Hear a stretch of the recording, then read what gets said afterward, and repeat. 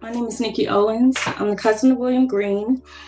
And um, first, I would like to remind everyone that tomorrow is the first year anniversary of the death of William Green. Nothing has changed for my family.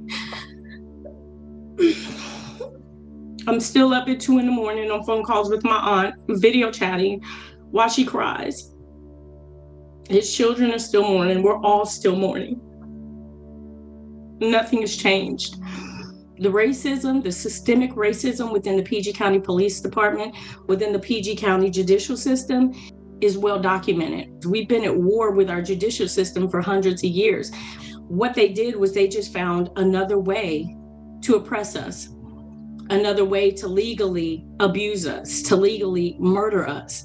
We are not equal we are not even close to being equal because I have never heard of this type of a press conference or this type of panel happening with a bunch of white people saying, Hey, I need you to stop killing my husband, and I need you to stop killing my wife and my children. I need you to stop murdering them and brutalizing them. We don't see this with a whole group of white people asking to change laws There should be just standard morals for people. You should have a moral value to not beat and brutalize and murder people in the street. You should have a moral value not to want to hide an investigation. We shouldn't have to worry that the color of our child's skin dictates their future treatment by the people that our tax dollars are paying. But we do. My cousin sat in the car handcuffed and was shot six times.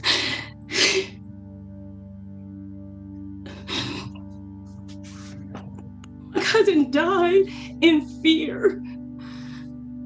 My cousin died probably confused as to why this man shot him.